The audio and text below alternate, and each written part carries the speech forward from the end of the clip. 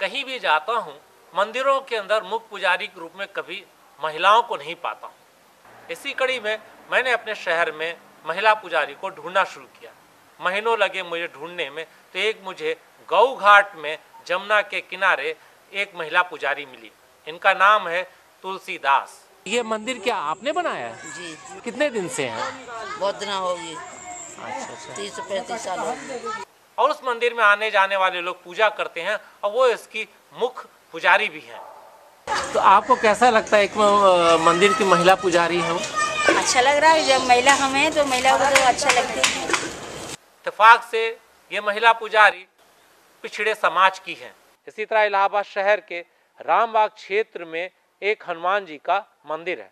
यहाँ के मुख्य पुजारी से मैंने बात की। हमने क्या पूछा उनसे? क्या पुजारी होने के लिए ब्राह्मण होना ज़रूरी है। तो उन्होंने कहा हाँ बिल्कुल ज़रूरी है। पुराण भी कहता है क्या कहता है? कि ब्राह्मण ही शुभ है शुद्ध है। हाँ। उसी को पुजारी बनना चाहिए। पुजारी का पद दिया जा सकता है दिया जाएगा। और और एक दलित पुजारी हो तो किसी मंदिर का? तो वो भी बेटर है उसमें आजकल दलित और वैसे कोई बात ही नहीं है ऐसा।